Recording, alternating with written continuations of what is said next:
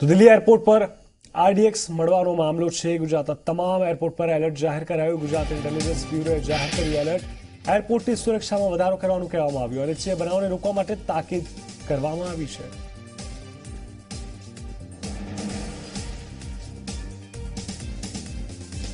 તો એરપોર્ટની સુરક્ષામાં પણ વધારો કરવાનું કહેવામાં આવ્યું છે. સુરત એરપોર્ટ પર પણ સુરક્ષા વધારી દેવામાં આવી છે. દિલ્હી એરપોર્ટ પર આરડીએક્સ ભરેલી બેગ મળી આવતા તમામ એરપોર્ટ એલર્ટ પર છે.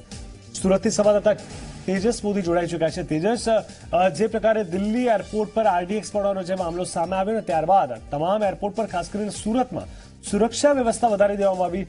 શું અને કેવા પ્રકારની સુરક્ષા વ્યવસ્થા હાલ કરવામાં આવી છે?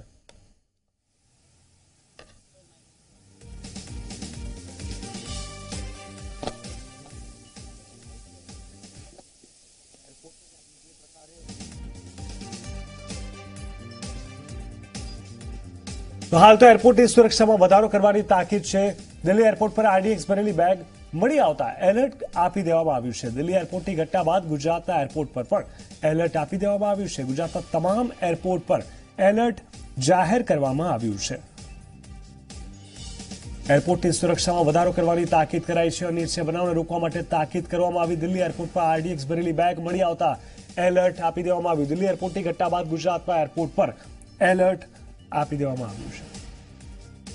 સંવાદદાતા તેજસ જોડાઈ ચૂક્યા છે. તેજસ, આ જણાવશો, સુરતમાં એરપોર્ટ પર કેવી પ્રકારની વ્યવસ્થા કરવામાં આવી છે સુરક્ષાને લઈને?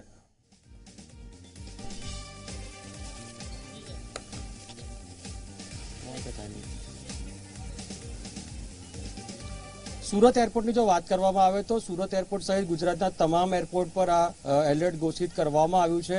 ઇન્દિરા ગાંધી ઇન્ટરનેશનલ એરપોર્ટ પર જે પ્રકારે આરડીએક્સ મળી આવ્યું હતું, ત્યારબાદ આ જે એલર્ટ છે તે ઘોષિત કરવામાં આવ્યું છે અને હાલ સુરત સહિતના તમામ જે ગુજરાતના એરપોર્ટ છે, ચાહે વડોદરા હોય, અમદાવાદ હોય, રાજકોટ હોય, આ સિવાયના જે નાના એરપોર્ટ છે, તમામ એરપોર્ટ જ્યાં આગળ સીઆઈએસએફ સિક્યુરિટી ત્યાં આગળ સીઆઈએસએફ અને ત્યાં આગળ ગુજરાત પોલીસની સુરક્ષા, ત્યાં ગુજરાત પોલીસને એલર્ટ કરવામાં આવ્યું છે. ચોવીસ કલાક રાઉન્ડ ઓવર પેટ્રોલિંગ કરવાનું કહેવામાં આવ્યું છે. સાથે શંકાસ્પદ લોકો દેખાય તો તેની ગતિવિધિઓ પર નજર રાખવાનું પણ કહેવામાં આવ્યું છે. જે રીતે ઇન્દિરા ગાંધી ઇન્ટરનેશનલ પર એરપોર્ટ પર જે પ્રકારે આરડીએક્સ મળ્યું છે, એ ખૂબ ગંભીર બાબત છે. ગંભીર સુરક્ષા ચૂક પણ કહી શકાય છે. એટલે ગુજરાતમાં આવી કોઈ ઘટના ન બને, તેના ધ્યાનમાં રાખીને જ ગુજરાત ઇન્ટેલિજન્સ બ્યુરો દ્વારા આ એલર્ટ આપવામાં આવ્યું છે અને આ એલર્ટની જાણકારી તમામ શહેરો અને તમામ જ્યાં જ્યાં એરપોર્ટ આવ્યા ત્યાં એરપોર્ટની જે સુરક્ષા કરનાર એજન્સીઓ તેને આપવામાં આવ્યું છે. જી.